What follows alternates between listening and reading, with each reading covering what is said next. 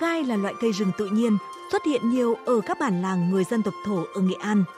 Thân cây gai to bằng ngón tay cái, cao hơn 1 mét là có thể sử dụng làm nguyên liệu đan võng.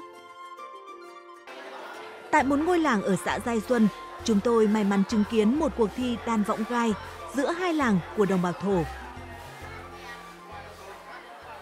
Một chiếc võng như thế này thì mình hoàn thiện trong bao nhiêu lâu thời gian? Muốn uh, hoàn thiện thì uh, ai mà đan xanh thì phải 7 đến 10 ngày nếu như mà có người đan không xanh hoặc là thời gian người ta không có thì phải có cái cả tháng mới xong. Một uh, chiếc võng như thế này thì mình uh, gồm những cái công đoạn như thế nào Nó có gồm có bốn công đoạn.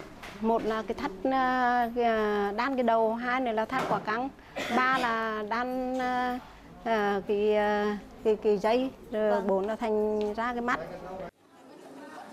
Sợi cây gai được phơi dưới ánh nắng mặt trời khoảng vài giờ đồng hồ hoặc một buổi là có thể sử dụng được. Nhờ hấp thụ ánh nắng mặt trời nên sợi gai có màu vàng, vị thơm, khi đan lên võng có màu rất đẹp. Võng gai có nhiều loại, võng 2 giây, 3 giây, 4 giây nên kỹ thuật bện sợi dây, tạo hoa văn trên võng cũng rất khác nhau. Thông thường người trẻ hay người mới học đan võng chỉ biết làm những chiếc võng có hoa văn đơn giản. Còn những chiếc võng có kỹ thuật đan lát phức tạp, thường chỉ có người già, giàu kinh nghiệm mới làm được. Chiếc võng này thì có rất là nhiều những kiểu đan khác nhau đúng không ạ? Chị đã biết hết những cái kiểu đan đấy chưa ạ? Chưa ạ, chị chỉ biết là vòng à, vòng đôi 3, đôi 4, phải là đôi 5 chứ còn à, vòng à, như nữa chị chưa biết đan. Đồng hành cùng với bà Thống giúp tôi hiểu được vì sao nhiều người phụ nữ dân tộc thổ lại yêu mến tự hào với nghề thủ công truyền thống của mình đến vậy. Có lịch sử cả trăm năm, có lúc thăng, lúc trầm, nhưng đồng bào thổ chưa bao giờ lãng quên những kỹ năng khéo léo để tạo nên sản phẩm thủ công độc đáo của mình.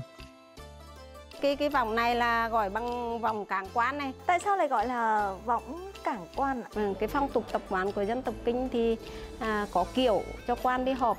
Chứ còn à, phong tục à, tập quán của dân tộc thổ là là cái vòng này là cảng quan đi họp huyện á. Độ bền của nó 20 năm cho nên là ngồi mấy hai ba người cũng được. Phong tục tập quán của dân tộc thổ là khi sống thì dùng những cái loại vòng này thì à, là chúng ta là còn khi mà mất ra là có như trách nhiệm của con cái là phải làm cái cái cái vòng nhỏ như thế này để là tri ân à, người có công nuôi dưỡng ta.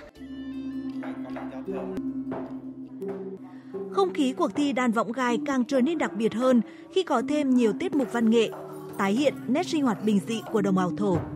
Nét đẹp của nghề đan võng truyền thống hòa quyện trong lời ca tiếng hát, điệu cổng chiêng ngân vàng đã tạo cho tôi những cảm xúc thật khó quên.